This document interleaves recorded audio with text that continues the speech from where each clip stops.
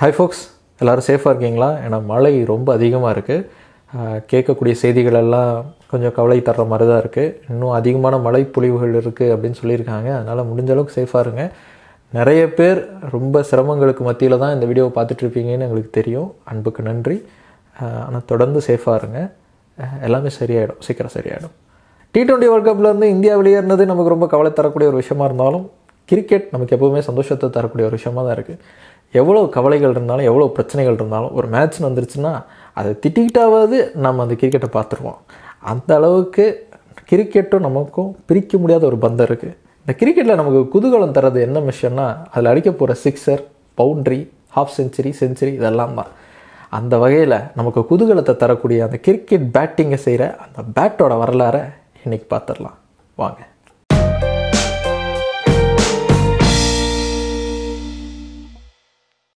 கிரிக்கெட்டை பொறுத்த வரைக்கும் எவ்வளோ விக்கெட் எடுத்தாங்க அப்படிங்கிறத விட எவ்வளோ ரன்கள் எடுத்தாங்க அப்படிங்கிறது தான் எப்போவுமே பேசும் பொருளாக இருக்கும். அது ஒரு பேட்ஸ்மேனாக இருந்தாலும் சரி இல்லை அது ஒரு டீமாக இருந்தாலும் சரி. முன்னாடிலாம் இருபத்தி ஆறு ரன்கள் எடுத்தாலே பா! அப்படின்வாங்க ஆனால் இப்போ ஒரு ஹாஃப் செஞ்சுரி எடுத்தால் கூட இந்த டி ட்வெண்ட்டி ஜென்ரேஷனில் வெறும் ஹாஃப் செஞ்சுரி தான் எடுத்தாரா? அப்படின்னு கேட்குற அளவுக்கு நிலமை மாதிரி இருக்குது அந்த அளவுக்கு ரன்களுடைய வேட்கைங்கிறது அதிகமாக இருக்குது பிரம்மாண்டமாக எதிர்பார்க்கப்படுற ரன்களுடைய குவியலுக்கு ஏற்ற மாதிரி தான் பேட்களுடைய பரிணாமமும் இருந்துக்கிட்டே இருந்திருக்கு. சரியாக கிரிக்கெட் பேட் பற்றிய முதல் குறிப்புங்கிறது ஆயிரத்தி அறநூற்றி இருபத்தி நாலில் ஒரு கொலை கேஸில் பதிவாயிருக்கு. என்னது கொலை கேஸா அப்படின்னு பதட்டமாக வரீங்களா? அப்போ நடந்த ஒரு கிரிக்கெட் மேட்ச்சில் ஃபீல்டர் தன்னோட கேட்சை பிடிச்சிடக்கூடாதுங்கிறதுக்காக பேட் எடுத்து நடு மண்டையில் நச்சுன்னு அடிச்சிருக்காரு அந்த பேட்ஸ்மேன் அதில் அந்த ஃபீல்டர் இறந்து போயிட்டார்.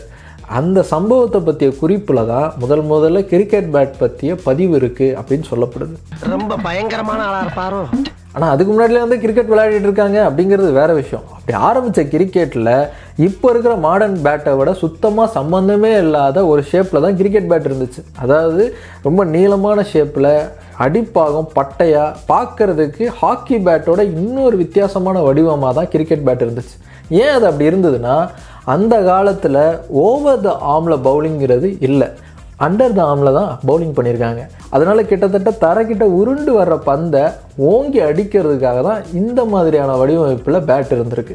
அதுக்கப்புறமா ஓவர் த ஆம் பவுலிங் அதிகமாக வர ஆரம்பித்ததுக்கு அப்புறமா தான் பேட்டுடைய வடிவங்கிறது மாற ஆரம்பிச்சிருக்கு. இன்றைக்கி பல சிக்ஸர்களையும் ஃபோர்களையும் பறக்க விடுற மாதிரியான வகையில் கிரிக்கெட் பேட்கள் உருவாக்கப்படுது. ஆனால் தீபாவளி முடிஞ்சாலும் நம்ம சிக்ஸர் அடிக்கிற மாதிரி ஒரு ஆஃபரை நமக்கு அங்கே தர்றாங்க. நவம்பர் முப்பது வரைக்கும். பிக்யூபஸ் ஃபிஃப்டீன் அப்படிங்கிற கோடை பயன்படுத்தினீங்கன்னா ஃபிஃப்டீன் பர்சன்ட் ஆஃபரில் நீங்கள் வந்து அங்கேயில் பர்ச்சேஸ் பண்ண முடியும். தேவைப்படுறவங்க கண்டிப்பாக போய் வாங்கிக்கோங்க. அதுக்கான லிங்க் வந்து கீழே டிஸ்கிரிப்ஷனில் இருக்குது அந்த காலகட்டத்தில் ஏகப்பட்ட வடிவத்தில் பேட்களை உருவாக்கி முயற்சி செஞ்சு பார்த்துருக்காங்க. அப்போது கிரிக்கெட்டுக்குன்னு ஒரு யூனிவர்சல் லாங்கிறது கிடையாது. இப்போ இருக்கிற மாதிரி. அதனால் அவங்கவுங்களுக்கு ஏற்ற வகையில் பந்துகளை வந்து பவுலர்கள் செஞ்சுட்டு இருந்தாங்க அதே மாதிரி அவங்க அவங்களுக்கு ஏற்ற மாதிரியான பேட்களை அந்தந்த பேட்ஸ்மேன்களை உருவாக்கிட்டு இருந்தாங்க அவன் சர்வீஸ பொறுத்தாண்டா குச்சியோட ஒருத்தரான் என் சர்வீஸ் பதிமூணு வருஷம். ஆனா நான் பதிமூணு குச்சி கொண்டாந்துருக்கேன். இப்படி பல பேர் பல ஷேப்களை ட்ரை பண்ணி பார்த்ததுல கடைசியாக ரெக்டாங்கிள் ஷேப் தான்ப்பா கரெக்டாக இருக்கும் அப்படின்னு ஒரு முடிவுக்கு வந்தாங்க. அது ஏன் வந்தாங்க அப்படிங்கிறதுக்கு ஒரு சம்பவம் சொல்லப்படுது. அது சம்பவம்ல சரித்திரம். ஆயிரத்தி எழுநூற்றி எழுபத்தி ஒன்றில் ரைகேட் கிளப்புக்காக விளையாட வந்த ஒரு இங்கிலீஷ் பேட்ஸ்மேன் மொத்த ஸ்டம்பையும் மறைக்கிற மாதிரியான ஒரு ஷேப்பில் பேட்டை கொண்டு வந்திருக்காரு. அதை பார்த்து தான் மிரண்டு போய் இப்படி ஸ்டம்பையும் மறைக்கிற மாதிரிலாம் பேட் எடுத்துகிட்டு வந்தால் நியாயமாயா? அப்படிங்கிறதுக்காக யூனிவர்சலாக ஒரே ஷேப்பில் இருக்கணும் அப்படின்னு முடிவு பண்ணி இந்த ரெக்டாங்கிள் ஷேப்பில் பேட்டை உருவாக்கலாம் அப்படிங்கிறது நடைமுறைக்கு வந்தது. இந்த ரெக்டாங்கிள் பேட்டை ஒரே மரத்துண்டில் செய்ய ஆரம்பித்தாங்க அதாவது ஹேண்டில் இருந்து பேட்டுடைய அடிபாகம் வரைக்கும் ஒரே மரத்துண்டில் தான் செய்ய ஆரம்பித்தாங்க அதுக்காக பல மரங்களில் முயற்சி செஞ்சாங்க. கடைசியாக இங்கிலாண்டில் வளரக்கூடிய வில்லோ மரம் தான் இதுக்கு சரியாக இருக்குது கிரிக்கெட்டுக்கு ஏற்ற பேட் செய்கிறதுக்கான சரியான மரம் அப்படிங்கிறதுனால வில்லோ மரங்களில் பேட்களை செய்ய ஆரம்பித்தாங்க சாலெக்ஸ் அல்பாவார் கேரலியாங்கிற அந்த மரம் தான் கிரிக்கெட் பேட்களை ஏற்ற எடையிலையும் அதே சமயம் வேகமாக வரக்கூடிய பந்துகளை தாங்கக்கூடிய தன்மையிலையும் இருக்குங்கிறதுனால தான் இன்னைக்கும் இந்த மரத்துல இருந்து தான் பேட்கள் செய்யப்படுது. சொல்லப்போனால் அதனால தான் இந்த மரத்துக்கு கிரிக்கெட் வில்லோ அப்படின்னே ஒரு பெயர் இருக்குன்னா பார்த்துக்கோங்க. இந்த மரத்தை உலகம் முழுக்க பயிரிட்டு பார்த்தாங்க. எங்கேயுமே பெருசாக வளரல. ஆனால் ஒரே ஒரு இடத்த தவிர அது நம்ம காஷ்மீர். காஷ்மீரில் இந்த மரம் வெள்ளைக்காரர்களால் பயிரிடப்பட்டு வளர்த்தெடுக்கப்பட்டுச்சு. அங்கே இருக்கக்கூடிய தட்பவெட்ப சூழ்நிலையால் இந்த மரம் அங்கே நல்ல செழிப்பாகவே வளர்ந்தது. அதனால் இங்கிலீஷ் வில்லோ வுட்டுக்கு அப்புறமா காஷ்மீர் வில்லோ தான் அதிகமாக கிரிக்கெட் பேட்கள் செய்யப்படுது. இந்த காஷ்மீர் வில்லோவில் செய்யப்பட்ட கிரிக்கெட் பேட்களை பெரிய பெரிய ஜாம்பவான்கள் கூட பயன்படுத்தியிருக்காங்க. சார் விவியன் ரிச்சர்ட்ஸ் நம்ம சச்சின் டெண்டுல்கர் இவங்க எல்லாருமே இந்த காஷ்மீர் வில்லோ பேட்களை பயன்படுத்தியிருக்காங்க. அது மூலமாக பெரிய பெரிய சாதனைகளும் நிகழ்த்தியிருக்காங்க. ஆனால் இப்போ சமீப காலமாக இந்த காஷ்மீர் வில்லோவில் செய்யப்பட்ட பேட்களை அதிகமாக ப்ரொஃபஷனல் கிரிக்கெட்டில் பார்க்க முடியல. இந்த வில்லோ மரத்தில் இருக்கக்கூடிய ரெட்வுட் அதாவது அந்த மரத்தண்டில் இருக்கிற நடு பகுதியில் இருக்கிற அந்த கருஞ்சிவப்பு பகுதியில் இருந்து தான் பேட்களை முதல்ல அதிகமாக தயாரிச்சிருக்காங்க. அதனால் பேட்கள் ஒரு மாதிரி ப்ரௌன் நிறத்தில் தான் இருந்திருக்கு. அதுக்கப்புறமா ஆயிரத்தி எட்நூற்றி தொண்ணூறில் தான் சிஜி பசி அப்படிங்கிற ஒரு பேட் தயாரிப்பாளர் இந்த சுற்றி இருக்கக்கூடிய சேப்வுட்னு சொல்லப்படுற இந்த வெள்ளை பகுதியிலிருந்து பேட்களை தயாரித்து பார்த்துருக்காரு. அது பார்க்கறதுக்கு ரொம்ப கவர்ச்சிகரமாக வெள்ளையாக இருந்தனால அதிகமாக அது சேல்ஸ் ஆயிருக்கு. அதுக்கப்புறமா நிறைய தயாரிப்பாளர்கள் அதிகமாக இந்த வெள்ளை பகுதியிலேருந்து பேட்களை தயாரிக்க ஆரம்பித்தாங்க அது இன்னைக்கு வரைக்கும் தொடருது. ஆனால் இந்த ரெட்வுட்டில் இருந்து தயாரிக்கப்படுற பேட் தான் ரொம்ப தரமானது அதிகமாக உழைக்கும் நல்ல ரிசல்ட்டை கொடுக்கும் அப்படிங்கிறது பேட் தயாரிப்பாளர்களுடைய கருத்து. இப்படி ஒரே மரத்தாலான பேட்களை வச்சு விளையாடும் போது பேட்ஸ்மேன்களுக்கு கைகள் வலிக்க ஆரம்பிச்சிருக்கு. அதை சரி செய்கிறதுக்காக என்ன பண்ணியிருக்காங்கன்னா பேட்டு தனியாகவும் ஹேண்டில் தனியாகவும் செஞ்சு அதை ஒன்றா இணைச்சி விளையாட ஆரம்பிச்சிருக்காங்க. இப்படி செய்யப்பட்ட ஹேண்டில் அதே வெள்ளோ மரத்தில் இருந்து தான் உருவாக்குனாங்க. அது நினச்ச மாதிரி பெரிய ரிசல்ட் கொடுக்கல. பேட்ஸ்மேன்களுக்கு தொடர்ந்து கை வலிங்கிறது இருந்துக்கிட்டே தான் இருந்திருக்கு. இந்த கை வலியை எப்படா சரி செய்யறது அப்படின்னு யோசித்தப்போ வேறு வேறு பொருட்களில் இந்த ஹேண்டிலை செஞ்சு ட்ரை பண்ணி பார்த்துருக்காங்க.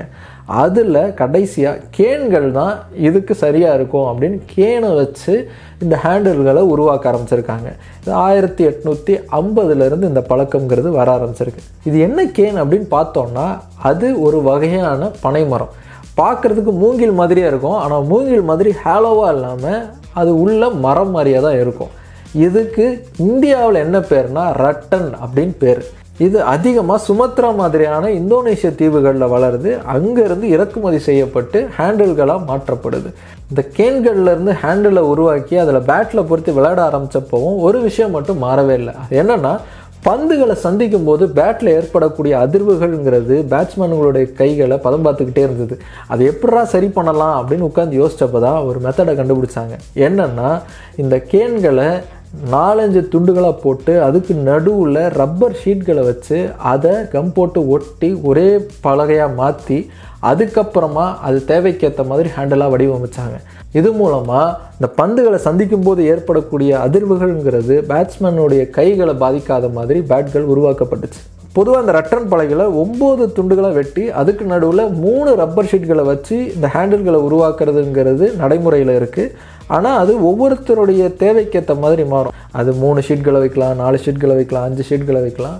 ஆனால் இப்படி எத்தனை பீஸ்களை போட்டு எத்தனை ரப்பர்களை வச்சுருக்காங்களோ அதை வச்சு தான் இந்த ஹேண்டில்களுடைய பீஸ் கணக்குகள் வரும். Four piece handle five piece handle twelve piece ஹேண்டில்லாம் வருது இல்லையா?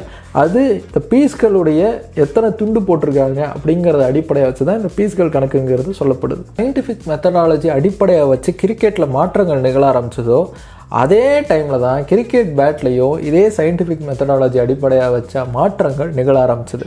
அதாவது கிரிக்கெட் பேட்கள் எவ்வளவு இடையில இருக்கணும் அதில் என்ன மாதிரியான வடிவ மாற்றங்கள் நிகழணும் எவ்வளவு பந்துகளுக்கு அப்புறமா கிரிக்கெட் பேட்கள் மாற்றப்படணும் இந்த மாதிரி ரொம்ப நுணுக்கமாக சயின்டிஃபிக்கலாக வந்து கிரிக்கெட் பேட்களை அணுக ஆரம்பித்தாங்க ஆனால் அதே சமயம் முக்கியமான மாற்றங்கள் எல்லாம் நம்ம ஏற்கனவே இந்த ஸ்டம்பை மறைக்கிற அளவுக்கு பேட்டை கொண்டு வந்த சம்பவத்தை பார்த்தோம்ல அந்த மாதிரி ஒரு சில முக்கியமான சம்பவங்கள் நடந்ததுக்கு அப்புறமா தான் அந்த மாற்றங்களே நிகழ்ந்துச்சு. உதாரணத்துக்கு சொல்லணும்னா ஆயிரத்தி தொள்ளாயிரத்தி எழுபத்தி ஒம்போதில் ஆஸ்திரேலியா வீரர் டென்னிஸ் லில்லி எடுத்துகிட்டு வந்து அலுமினிய பேட்டை சொல்லலாம். இங்கிலாந்துக்கு எதிரான போட்டியில் இந்த அலுமினிய பேட்டை எடுத்துகிட்டு வந்து அவர் விளையாடினப்போ ரெண்டு மூணு டெலிவரிக்கு அப்புறமா மைக் பிரேயர்லி இந்த பேட்டு பாலை பதம் பார்க்குது அதனால் மாற்ற சொல்லுங்கள் அப்படின்னு அம்பையர்கள் கிட்ட சொல்ல அம்பையர்களும் இந்த பேட்டை நீங்கள் மாற்றி தான் ஆகணும் அப்படின்னு லில்லி கிட்ட அடம் பிடிச்சாங்க. நான் இப்ப செய்ய போற காரியத்தை பார்த்து நீங்களே ஆடி போயிருவீங்க அசந்து போயிருவீங்க வேறு வழியே இல்லாமல் லில்லி கடுப்பாகி தன்னோட பேட்டை தூக்கி போட்டு விளையாட ஆரம்பித்தார் இந்த சம்பவத்துக்கு அப்புறமா கிரிக்கெட்டுக்கான சட்டத்திட்டங்களை பாதுகாக்கிற எம்சிசி அமைப்பு பேட்டுங்கிறது முழுக்க முழுக்க மரத்தால் செய்யப்பட்டதாக தான் இருக்கணும்னு சட்டமே வகுத்துச்சு. கிரிக்கெட் பேட்டில் மேலே இருக்கிற பகுதியோட பேர் ஹேண்டில் அடுத்தது பேட்டோட உடல் பகுதி. பந்தை எதிர்கொள்கிற இந்த பகுதி பிளேடுன்னு சொல்லுவாங்க. பந்து அடிக்காத பின்பகுதியை ரியர் சைடுன்னு சொல்லுவாங்க. இந்த பிளேட் பகுதியையும் ஹேண்டில் பகுதியையும் இணைக்கிற இடத்துக்கு பெயர் ஷோல்டர் பேட்டோட அடிப்பகுதியை டோன்னு சொல்லுவாங்க. ஒரு நல்ல பேட்ஸ்மேன் பேட்டோட நடுப்பகுதியில் தான் பந்து எதிர்கொள்வார். அதுதான் பேட்டோட ஸ்வீட் ஸ்பாட் அப்படின்னு சொல்லுவாங்க. இந்த பகுதி கொஞ்சம் வளைஞ்சு இருக்கும். இப்போ சமீப காலங்களில் இந்த பகுதியை மெஷின்லேயே வளைச்சு எடுத்துகிட்டு வந்து தராங்க ஆனால் ஒரு பேட்ஸ்மேன் தொடர்ந்து பந்துகளை சந்திக்கும் போது இந்த நடுப்பகுதிங்கிறது இயற்கையாகவே வளைஞ்ச மாதிரி மாறும். அதுதான் சரியான முறை அப்படின்னு பேட்களை தயாரிக்கிற ஒரு சில பேர் முன்வைக்கிற வாதம். பேட்டோட இந்த அடிப்படை வடிவமைப்பில் ஏகப்பட்ட மாற்றங்கள் காலப்போக்கில் நிகழ்ந்துக்கிட்டே தான் வந்திருக்கு. இந்த ஷோல்டர் பகுதி இருக்குது பார்த்தீங்களா இந்த ஷோல்டர் பகுதி இல்லாத பேட்கள் ஆயிரத்தி தொள்ளாயிரத்தி அறுபதுகளில் தயாரிக்கப்பட்டுச்சு. நம்ம கபில் தேவ்லாம் இந்த மாதிரியான பேட்டில் வச்சு விளையாடிருக்காரு அதுக்கப்புறம் ஆயிரத்தி தொள்ளாயிரத்தி எழுபத்தி நாலில் புகழ்பெற்ற கிரே நிக்கோல்ஸ் கம்பெனி ஒரு புது வகையான பேட்டை அறிமுகப்படுத்தினாங்க. அதுக்கு சூப்பர் ஸ்கூப் அப்படின்னு பேர். என்னன்னா கிரிக்கெட் பேட்டில் இருக்கக்கூடிய ரியர் சைடில் மேடான பகுதியை குறைச்சி ஒரு ஹாலோ டிசைனாக உருவாக்கி தந்தாங்க. அந்த கிரிக்கெட் பேட் ரொம்ப பெரிய ரெவல்யூஷனாக இருந்தது. எக்கச்சக்கமாக விற்று தள்ளுச்சு. என்னடா அது ஜல்லிக்கரண்டி மாதிரி? நோ இது கம்ப்யூட்டர் டிசைன் அதுக்கப்புறம் ஆயிரத்தி தொள்ளாயிரத்தி எண்பதுகளோட மத்தியில் டர்போ பேட்டுன்னு ஒரு பேட் அறிமுகமாச்சு. ரெண்டு வில்லோ வுட்டை ஒன்றா சேர்த்து உருவாக்கப்பட்ட பேட் அது. கொஞ்சம் தடிமனாக இருக்கும். அந்த பேட்டை வச்சு தான் ஆயிரத்தி தொள்ளாயிரத்தி தொண்ணூறில் இந்தியாவுக்கு எதிராக டெஸ்ட்டில் முந்நூற்றி முப்பத்தி மூணு ரன்கள் அடித்தார் கிரஹாம் கோச். இப்படி பல மாற்றங்களை சந்தித்த பேட்களில் நம்மளால் மறக்கவே முடியாத ஒரு பேட் எதுன்னா ஸ்ப்ரிங் பேட் அத வேற ஞாபகப்படுத்திட்டீங்க. நெஞ்சமெல்லாம் பொண்ணு அறக்கு தம்பி. மறக்க முடியல. Two thousand three world cup final நாமளும் ஆஸ்திரேலியாவும் நேருக்கு நேர் நிற்கிறோம் கப்பு நமக்கு தான் பிகிலே அப்படின்னு நினச்சிட்டு இருந்த சமயத்தில் நம்மளை வச்சு செஞ்சார் Ricky Ponting one forty runs அடித்து ஆஸ்திரேலியாவுக்கு சூப்பராக கப்பு வாங்கி கொடுத்தாரு. அந்த போட்டிக்கு அப்புறமா ரிக்கி பாண்டிங் பேட்டில் ஸ்ப்ரிங் இருந்தது. அதனால தான் அவர் பயங்கரமாக ரன் அடித்தார் அவர் ஸ்ப்ரிங் பேட் யூஸ் பண்ணார். அப்படின்லாம் சொல்லப்பட்டுச்சு. ஆக்சுவலாக அவர் யூஸ் பண்ணது ஒரு புது டெக்னாலஜியில் உருவான ஒரு பேட் அதாவது பேட்டில் இருக்கிற ஹேண்டிலில் வழக்கமாக இருக்கிற ரப்பருக்கு பதிலாக கார்பன் பாலிமர் ஃபைபரை யூஸ் பண்ணி ஒரு புது வகையான ஹேண்டிலோட வித்தியாசமான பேட்டை உருவாக்குனாங்க கொக்கபர கம்பெனி அந்த பேட்டை பயன்படுத்தி தான் ரிக்கி பாண்டிங் ஆடினார். அதனால தான் அவ்வளோ சூப்பரான ஸ்கோர் அவரால் கொடுக்க முடிஞ்சது அப்படின்னு சொல்லுவாங்க. அவர் பயன்படுத்தினது கொக்கோபோரா பேட்டு தான். ஆனால் அந்த டைப் ஆஃப் பேட்டை தான் அவர் பயன்படுத்தினாரான்னு தெரியல. தெரிஞ்சவங்க கீழே கமெண்ட் பண்ணுங்கள் இதில் கொடுமையான விஷயம் என்னன்னா ரெண்டாயிரத்தி ஆறில் கொக்கோபோரா உருவாக்கின இந்த பேட்டுக்கு தடை விதிச்சது எம்சிசியும் ஐசிசியும் அது வரைக்கும் இந்த பேட்டை வாங்கி வச்சிருந்த உலக அளவில் இருக்கக்கூடிய எல்லா ஸ்டார் பிளேயருக்கும் ரீப்ளேஸ்மெண்ட் பேட்கள் அனுப்பிச்சது கொக்கோபரா. அவங்க எல்லாருக்கும் ரீப்ளேஸ்மெண்ட் பேட்டு கிடைச்ச மாதிரி இந்த பேட்டை பயன்படுத்துறதுனால கப்பு கிடைச்சதே அந்த கப்பு நமக்கு கிடைச்சிருந்ததுன்னா நல்லா இருந்திருக்கும். இவ்வளவு தமாஷ் பண்ணி அட போங்க நீங்க அதுக்கப்புறமா கம்மியான ஓவர்களில் எக்கச்சக்கமான ரன்களை குவிக்க வேண்டிய டி டுவெண்ட்டி ஃபார்மேட்டுங்கிறது வந்துச்சு. டி டுவெண்ட்டி அறிமுகமானதுக்கப்புறமா அதுக்கேற்ற மாதிரியான கிரிக்கெட் பேட்களும் உருவாக ஆரம்பிச்சது. ரெண்டாயிரத்தி நாலில் நியூ பெர்ரிங்கிற கம்பெனி யூசி அப்படிங்கிற ஒரு பேட்டை அறிமுகப்படுத்தினாங்க. அதுக்கப்புறம் ரெண்டாயிரத்தி பத்தில் மங்கூஸ் நிறுவனம் டி டுவெண்ட்டிக்காகவே ஒரு புது வகையான பேட்டை அறிமுகப்படுத்தினாங்க. அதுக்காக பிராண்ட் அம்பாசிடராக அப்போ நடந்த ஐபிஎல்லில் மேத்யூ ஹைடனெலாம் கூட சைன் பண்ணாங்க. இந்த பேட்டோட பிளேடோட நீளத்தை குறைச்சி அதோட ஹேண்டிலோட நீளத்தை அதிகமாக்குனாங்க.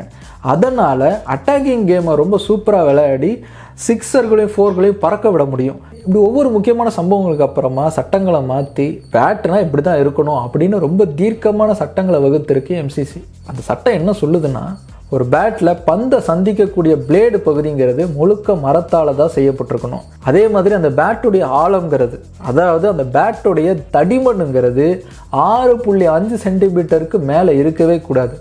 ஒட்டு மொத்தமாக பேட்டுடைய வெயிட்டுங்கிறது ஒன்று புள்ளி ரெண்டுலேருந்து ஒன்று புள்ளி நாலு கிலோக்குள்ளே தான் இருக்கணும். இவ்வளவு கடுமையான சட்டத்திட்டங்கள் இருக்கிறதுனாலேயே கிரிக்கெட் பேட்டில் மற்ற ஸ்போர்ட்ஸில் இருக்கிற மாதிரியான பல மாற்றங்கள் வந்து நிகழலை. உதாரணத்துக்கு சொல்லணும்னா டென்னிஸ் பேட் முன்னாடி மாதிரி இல்லை இப்போ கார்பன் மெட்டீரியலெல்லாம் வந்துருச்சு. ஆனால் கிரிக்கெட் பேட்டில் இந்த மாதிரியான மாற்றங்கள் எதுவுமே நிகழலை. இன்னும் அதே பழைய மெத்தடில் தான் இன்றைக்கும் கிரிக்கெட் பேட்கள் செய்யப்படுது.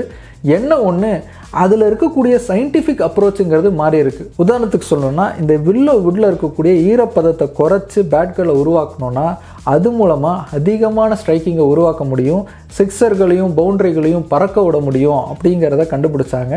அதுக்காகவே இந்த வில்ல உட்களை பேட்களை தயாரிக்கிறதுக்கு முன்னாடி ஒன்றுலேருந்து ரெண்டு டன் அளவுக்கு அது மேலே எடை வைத்து அதோடய ஈரப்பதத்தை குறைக்கிறாங்க. குறைச்சி தான் அதுக்கப்புறமா பேட்டை உருவாக்குறதுங்கிறது இப்போ இருக்கக்கூடிய டெக்னாலஜியில் டெவலப் ஆகிருக்கு இன்டர்நேஷ்னல் லெவல் ஆடக்கூடிய கிரிக்கெட்டில் வேணால் மாற்றங்கள் நிகழாமல் இருக்கலாம். ஆனால் உள்ளூர் லெவலில் ஆடக்கூடிய கிரிக்கெட்டில் மாற்றங்கள் நிகழ்ந்துக்கிட்டே தான் இருக்குது நம்ம தென்னை மரம் இருக்குல்ல இந்த தென்னை மரத்துலேருந்து கிரிக்கெட் பேட்டை உருவாக்கி அதை நம்ம ஊரில் விளையாடிட்டு தான் இருக்காங்க. அதுக்கு ஏகப்பட்ட மவுஸ் கூட இருக்குது இப்படி ஒவ்வொரு நாட்டிலையும் அந்தந்த நாட்டை சார்ந்த உள்ளூர் மரங்களை வச்சு கிரிக்கெட் பேட்கள் உருவாக்கப்பட்டு கிரிக்கெட்கள் விளையாடப்பட்டுக்கிட்டு தான் இருக்குது ஆனால் சர்வதேச அளவில் பயன்படுத்தக்கூடிய கிரிக்கெட் பேட் நமக்கு கற்றுத்தர்ற பாடம் என்னென்னா நம்ம நினச்ச மாற்றத்தை நிகழ்த்தக்கூடிய அளவுக்கு சூழல் இல்லாமல் இருக்கலாம். நம்ம மேலே அழுத்தங்கள் இருந்துக்கிட்டே இருக்கலாம். ஆனால் அந்த சூழலுக்கு நடுவுலையும் அழுத்தங்களுக்கு நடுவுலையும் எப்படி மாற்றத்தை கொண்டு வரலாம் என்ன மாதிரியான மாற்றங்களை கொண்டு வரலாம்னு யோசித்து நம்மளை நாமளே அப்டேட் பண்ணிட்டு போயிட்டே இருக்கணும் அதுதான் வெற்றியை தரும் அப்படிங்கிறது தான் ஓகே பிக் பஸ் இந்த கண்டென்ட் உங்களுக்கு பிடிச்சிருக்கும் நம்புகிறோம் கிரிக்கெட் பேட் பற்றி எங்களுக்கு தெரிஞ்ச எல்லா விஷயத்தையுமே நாங்கள் சொல்லிட்டோம். ஆனால் நாங்கள் விட்ட பல விஷயங்கள் உங்களுக்கு தெரிஞ்சிருக்கலாம். அது எல்லாம் மறக்காமல் கீழே கமெண்ட் பண்ணுங்கள் நம்ம எல்லாருமே படித்து அதை தெரிஞ்சுப்போம். எப்படி கிரிக்கெட் பேட் பார்க்குறதுக்கு ஒரே மாதிரி இருந்தாலும் பல வேரியேஷனில் வித்தியாச வித்தியாசமாக உருவாக்கப்பட்டதோ அதே மாதிரி பார்க்குறதுக்கு ஒரே மாதிரி இருந்தாலும் ஒவ்வொரு வகையில் ஒவ்வொரு விதமாக திறமைகள் வச்சுருக்கிற ஒரு பூச்சி இனத்தை பற்றி அடுத்த வீடியோவில் பார்த்துருவோம். ஓகே